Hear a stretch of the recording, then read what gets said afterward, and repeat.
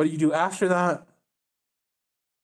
Um, I would have you look or have you think about what that information does or what your information um, can do for the audience. Like, what do they need to know about this thing?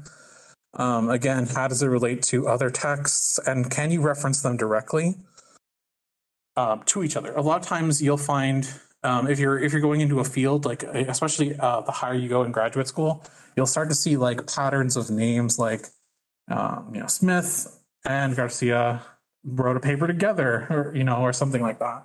Or like Smith and another person or like Smith but 30 years apart the same person. Um, you can you can you look for those in sources? Like if you're getting a source look through its references and try to find um, other sources that are relevant